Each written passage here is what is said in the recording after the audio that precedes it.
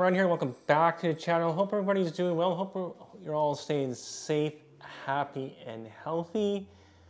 How was your week? We did it. It's Friday. Oh, are you like me? You get to sometimes get to the Friday. You're like, thank God it's Friday. Nice that the Friday comes around. You know, Mondays are great because it's always the start of a new week. It's the start of something fresh that anything can happen. But I tell you, there's nothing beats a Friday and coming home and putting the feet up and looking back at the week and what you did and being like, you know, look at all the great things that I accomplished this week. And part of that is by setting routines for yourself. And that's what I want to talk to everyone about today. I want to talk about, you know, routines and why it's important as runners and basically in life in general. So you can you can kind of take this in contents of not just for running, but for life and why it's important to set those routines for yourself. For me, there's there's a few reasons why I set the routines. Now, I started, before I was really, really bad at setting routines. I actually didn't set routines at all during the week. I kind of just was like a, let's go by the fire, by the seat of our pants. We're just going to take it as it comes, and Bob's your uncle. I'll do whatever I want. And by doing that, helped led to my weight gain and you know ballooning out of control because I was not setting structure up and I was going through drive-throughs eating and basically eating poorly and not exercising and blah blah blah blah. And you know that was that was then this is now. And and what the difference was is I started setting routines up for myself led to measurable goals. And that you know that was really cool to see. So you know every week I, I would say say to myself when is my weight loss journey? I'd say okay Ryan my goal is by this end of this week, I want to achieve. Now, you don't want to lose like three or four pounds in a week because that's unhealthy, but uh, a pound or so is, is natural. So, you know, let, us go for a pound. Let's, let's, let's try to lose a pound. And that's what I did. And, I, and, I, and so, I, and so by, in, by setting those, that routine up for myself, I would then start food preparation and, and how do I properly diet and, and meal plan and all that good stuff. And, and I learned those routines you know, later in life. I should have learned them earlier in life, but shoulda, coulda, woulda. It is what it is. Um, and now I've taken that structure and I've put that focus into my running, and that's where we are today with running. I, I really, you know, feel that you know I'm by setting that structure up now. I'm seeing the improved times, except for Wednesday's run, which was all kind of suck. I was just out there going through the motions, and I was just like ugh, it was this is like slower than back in October. This is crazy.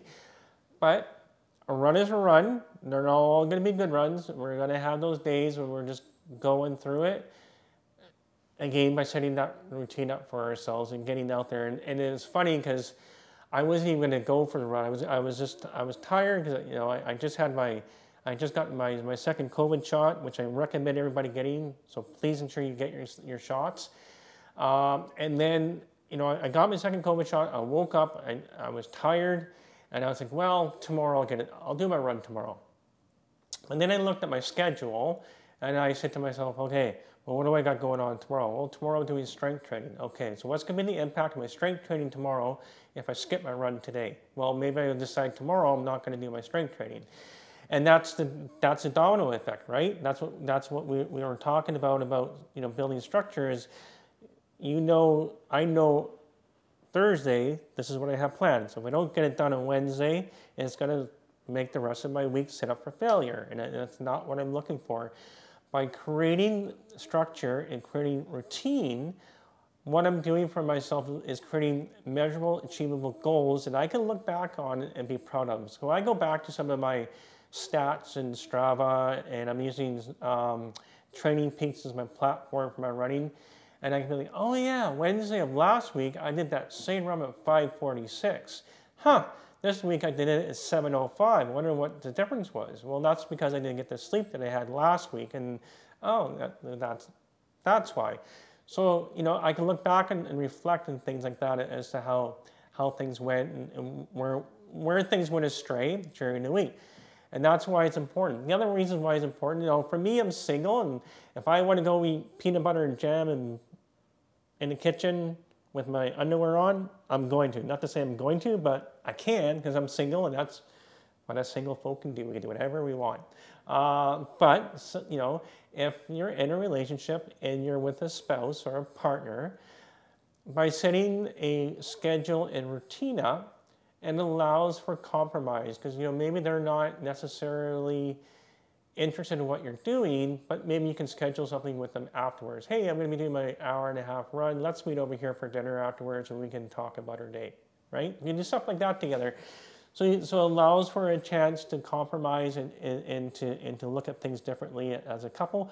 Or if they are into, into running, um, maybe you guys are different pace. Maybe you can take an, an easy day, and we're going to talk about easy days in a minute. Maybe you can take an easy day and you can run together because an easy an easy day run is not always you don't have to bust it out. and You can kind of take it easy and go for a run together and even run walk, right? That's what easy days are for. Easy days are meant to be easy. They're not meant to be busting out marathons. So structure and discipline and routines really are important for runners. It also allows your body to, to, to, to not overtrain.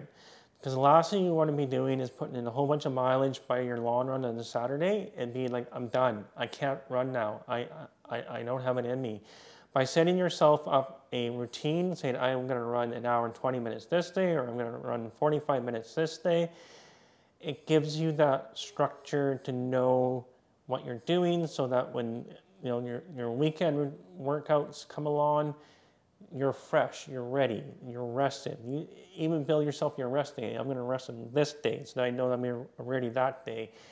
And it's super important, guys. You, you got to give yourself that routine and schedule. You can't just be out there winning it because you're you're never going to get where you want to get to um, running if you're just going through the motions. So build those routines for yourself. Uh, build a plan. That's why you know find a race, find something to look forward to, and build that structure, and you'll be awesome. I know you will. I did it and you can do it. So the other one thing I want to talk to you guys about is keeping those easy days easy and don't go out too hard on those easy days. I made that mistake a week or so ago. You know, on my easy day run, I, went full marathon pace and I paid for it the, next weekend. And we'll talk about that on my Monday vlog when, when I kind of recap the week. I paid for it on a Saturday because I wasn't fresh because I went too far out. And my run coach was right because she told me not to do that. But at the time, I was feeling good. I was just like, going for it. And, and, and that's why those easy days, everyone, are so important to keep them, keep them slow. Um, if you're a 540, like I am, if you're a 545 marathon and half marathon runner, go your easy day runs are about 645. Go purposely slower so that you're not going to set yourself up for failure and, and you can get injured, right? You can get yourself hurt if you're, if you're, if you're going out too quickly, too fast, you're, try, you're trying to get all this mileage in right away, not going to go well. You know where it's going to lead. You're going to get that IT band you're going to get, whatever other injuries are susceptible. I got IT band a few years ago, again, by, by not training properly. So listen to that body and listen to what those easy day runs mean, because they're just meant to be a conversational run, chilling just chilling. And remember that when you're out there, you're just chilling, and then you'll be good to go. Hope everyone has a good week. Get outside, do something for yourselves. I'm not going to do another live stream this weekend. I want to really concentrate on my Saturday long run and knock that out of the park. We're getting closer and closer to Calgary now, everyone, so it's crazy. So we're going to talk about that on Monday. We're going to talk about the training, where my missteps were this past week, because I definitely there were a few oops this past week. So we'll talk about that in the Monday recap. Get outside. It's hot out there. All there's everywhere I'm looking, seeing it's it's crazy heat going on right now. So just you know, stay hydrated, stay safe. Don't take any chances. If it's too hot, do something indoors. Do some strength training. Go on a treadmill. Be smart. Listen to what's going on within yourself, and don't get injured. Talk to you next time on the vlog. Have an amazing weekend.